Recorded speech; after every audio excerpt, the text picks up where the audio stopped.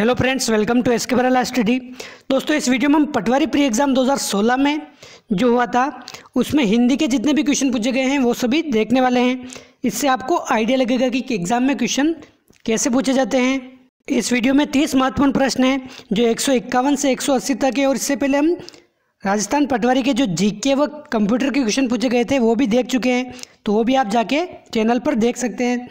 देखते हैं first question गुण संधि का उदाहरण कौन सा है? देखिए, गुण संधि का उदाहरण है चारों ऑप्शन में से, महोत्सव। महोत्सव का संधि विच्छेद क्या होता है? महा महा प्लस उत्सव। तो यहाँ पे आ प्लस उ मिल के बनाता है ओ। ये गुण संधि का उदाहरण है महोत्सव ऑप्शन। फ़र्स्ट क्वेश्चन, सेकंड है, अति प्लस उक्ति शब्दों की संधि करने पर क्या शब्द बनेगा? तो देखिए, यहाँ पर संधि आपने पढ़ी होगी, आपको पता होगा। अति में आ रहा है ई। प्लस उक्ति उक्ति का ऊ ई प्लस ऊ मिल के बनाता है यू तो ये बन जाएगा अत्युक्ति। अत्युक्ति कौन सा शब्द है? Option second. और इसमें कौन सी शब्द हो, संधि होगी? अति प्लस उक्ति अत्युक्ति में अत्युक्ति में संधि है यण संधि। और ऑप्शन सेकंड इसका सही आंसर हो जाएगा। क्वेश्चन वन फिफ्टी थ्री है। बहुव्रीही समास का उदाहरण कौन सा है? बहुव्रीही समास का उदाहरण है चक्रधर। चक्र को धारण करने वाला, यानी कि विष्णु को पता होगा जिस समास में दोनों पद मतलब प्रथम व द्वितीय पद, दोनों पद प्रदान नहीं होते हैं, कोई अन्य पद प्रदान होता है, उसमें बहुव्रीही समास होता है। चक्रधर का अर्थ निकल रहा है Vishnu. Question one fifty four है, निम्नलिखित में से कौन कौन सा पद तत्पुरुष समास है? कौन से पद में तत्पुरुष समास है? देखिए नवरात्र मतलब नवरात्रियों का समूह, इसमें तो तत्पुरुष समास नहीं है। धर्माधर्म मतलब धर्म और अधर्म इसमें भी नहीं है। ये तत्पुरुष समास किसमें है? पदगत। ऑप्शन थर्ड, पदगत इसमें है, तत्पुरुष समास। और पदगत का सामासिक विग्रह करें, क्या होगा? पद को गया हुआ। क्वेश्चन वन फिफ्टी, फाइव है।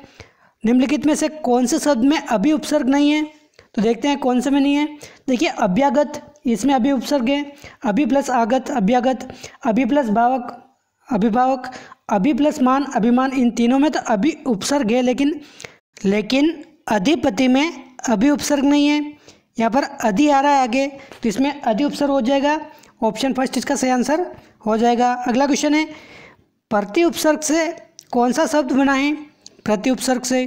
देखिए, प्रयत्न में प्रति उपसर्ग नहीं है, प्रबल में नहीं है, पराजय में नहीं है, लेकिन प्रत्यक्ष का अगर संधि विच्छेद करके देखें तो आता है, प्रति प्लस अक्ष तो ये प्रति उत्तर इसमें आ रहा है, प्रत्यक्ष में ऑप्शन थर्ड अगला क्वेश्चन है क्वेश्चन वन फिफ्टी सेवन निम्नलिखित में से कौन सा शब्द है जिसमें हारा प्रत्यय नहीं है? पनिहारा में हारा प्रत्यय है, क्योंकि पानी, धन, हारा, ये शब्द इससे मिलकर बना होता है तो इसमें हारा प्रत्यय है। लक्कड़हारा में है, और किस्मत हारा में भी हारा प्रत्यय है, और पालन हारा कोई शब्द नहीं होता, पालन हार होता है, इसलिए मेरे हिसाब से इसका आंसर ऑप्शन सेकंड होगा, पालन हारा में हारा प्रत्यय नहीं है। और किसी किसी बुक में किस्मत हारा दे रखा है, इसमें हारा प्रत्यय नहीं लगेगा। तो आपको कंफर्म आंसर अगर बताएँ तो आप कमेंट करके ज़रूर बता सकते हैं। मेरे हिसाब से इसका आंसर ऑप्शन सेकंड पालन हारा होगा। बाकी पनिहारा में हारा प्रत्यय है लकड़ारा में हारा प्रत्यय सौ परसेंट है। अगला क्वेश्चन है, गवैया शब्द में कौन सा प्रत्यय है? तो गवैया में प्रत्यय होता है ऑप्शन सेकंड ऐया ऑप्शन सेकंड इसका, सही आंसर हो जाएगा। अगला क्वेश्चन है, बोरा का पर्यायवाची शब्द कौन सा है? तो देखिए, बोरा का पर्यायवाची शब्द है सिलीमुख और सारंग, ये दोनों ऑप्शन सही हो जाएँगे ऐसे क्वेश्चन में। या तो ये दोनों ऑप्शन सही माने माने जाएँगे या क्वेश्चन डिलीट होगा। तो बोरा का पर्यायवाची शब्द सिलीमुख भी है, सारंग भी है, और सारंग सिर्फ़ बोरा का ही पर्यायवाची शब्द नहीं है। ये हिरण मोर सर्प, हाथी, इन इनका भी पर्यायवाची शब्द होता है सारंग। तो ये आप ध्यान में रखें। तो इसका आंसर क्या हो जाएगा? ऑप्शन फ़र्स्ट और सेकंड दोनों। अगला क्वेश्चन है, संधि शब्द का सही विलोम शब्द कौन सा है? तो सही, संधि शब्द का सही विलोम शब्द है विग्रह। ऑप्शन फ़र्स्ट इसका सही आंसर हो जाएगा। अगला क्वेश्चन है, पत्र शब्द का अनेकार्थक शब्द समूह सही कौन सा है? तो पत्र शब्द का अनेकार्थक शब्द समूह है पत्ता, चिट्ठी, पंख ये फोर्थ ऑप्शन इसका सही आंसर हो जाएगा। अगला क्वेश्चन है, शक्ति शब्द का अनेकार्थक शब्द समूह कौन सा है? तो शक्ति शब्द का अनेकार्थक शब्द समूह है शक्ति, दुर्गा ऑप्शन सेकंड क्वेश्चन 163 निम्नलिखित में से कौन सा शब्द युग्म सही है? तो देखिए जो नीरज, बादल, नीरद, कमल, ये तो विपरीत दे रखा है। नीरद का मतलब तो होता है बादल और नीरज का मतलब होता है कमल। यह तो गलत हो जाएगा। ये सेकंड व थर्ड ये भी गलत है और फोर्थ ऑप्शन है, ये निर्जर झरना व निर्जर देवता, ये वाला ऑप्शन बिल्कुल सही सही शब्द युग में option fourth one sixty four है। निम्न में कौन सा शब्द युग्म सही है? तो इसका सही हो जाएगा मेघ मेघ बादल व मेघ यज्ञ। ऑप्शन सेकंड मेघ का मतलब बादल व मेघ का मतलब यज्ञ। अगला क्वेश्चन है, निम्न में शब्द शुद्ध कौन सा है? शुद्ध शब्द कौन सा है, ये बताना है हमें। देखिए मना योग ये गलत है, मनोयोग होता है। पुरस्कार ये गलत है।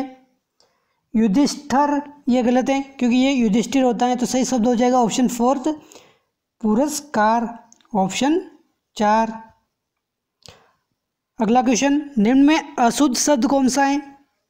अशुद्ध शब्द बताना है। मैथिली यह शुद्ध है, प्रज्वलित और पैतृक ये सभी शुद्ध शब्द हैं, लेकिन जो माननीय दे रखा है, ये अशुद्ध है। माननीय शुद्ध शब्द होता है, माननीय, लेकिन ये माननीय, ये अशुद्ध है। अगला क्वेश्चन वाक्य शुद्ध से संबंधित है। निम्नलिखित में से शुद्ध वाक्य कौन सा है? तो हम सीधे शुद्ध वाक्य देख लेते हैं। यह कविता अनेक बार भाव प्रकट करती है। ये शुद्ध वाक्य है। अगला क्वेश्चन है निम्नलिखित में से अशुद्ध वाक्य कौन सा है? तो अशुद्ध वाक्य हैं ऑप्शन फोर्थ व्यायाम स्वास्थ्य के लिए उपयोगी हैं। अगला क्वेश्चन है, अध्यापक ने कक्षा में गणित की परीक्षा ली है, यह कौन सा वाक्य है?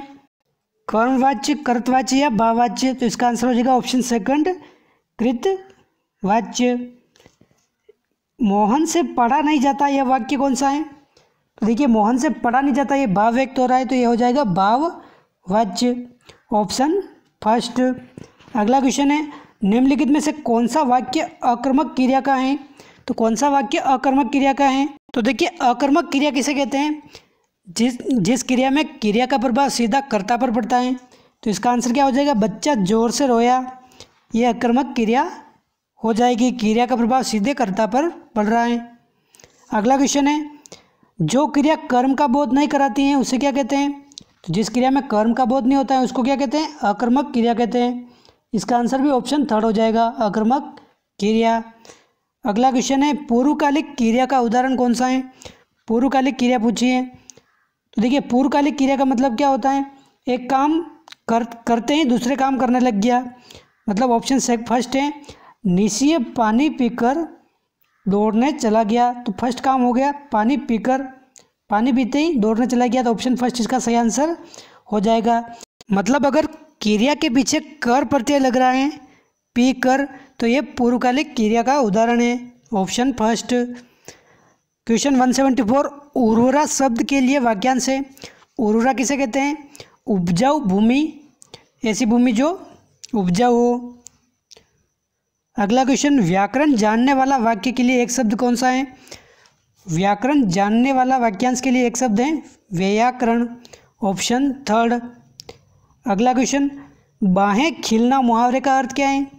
बाहें खिलने मुहावरा का अर्थ है, बहुत खुश होना। ऑप्शन सेकंड अगला क्वेश्चन है, पक्षपात पूर्ण व्यवहार करना भाव की अभिव्यक्ति हुई है, कौन से मुहावरे में? तो पक्षपात पूर्ण व्यवहार करना ये है ऑप्शन थर्ड अंधा बाटे रेवड़ी फिर फिर अपने को दे। ये हो गया पक्षपात, पूर्ण व्यवहार करना ऑप्शन थर्ड अगला क्वेश्चन है, बेलेट का सही हिंदी शब्द कौन सा है? बेलेट का सही हिंदी हिंदी रूप होता है।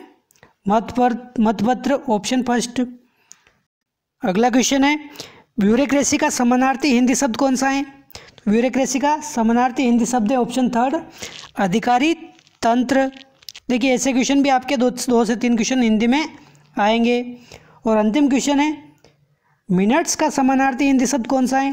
तो यह है कार्यव्रत ऑप्शन फ़र्स्ट तो दोस्तों, ये थे तीस महत्वपूर्ण प्रश्न हिंदी के, जो पटवारी प्री एग्ज़ाम 2016 में पूछे गए थे। वीडियो अगर अगर आपको अच्छा लगा है तो लाइक कीजिए कमेंट कीजिए चैनल पर पहली बार आए तो सब्सक्राइब कीजिए। मिलते हैं अगले वीडियो में। जय हिंद, जय भारत।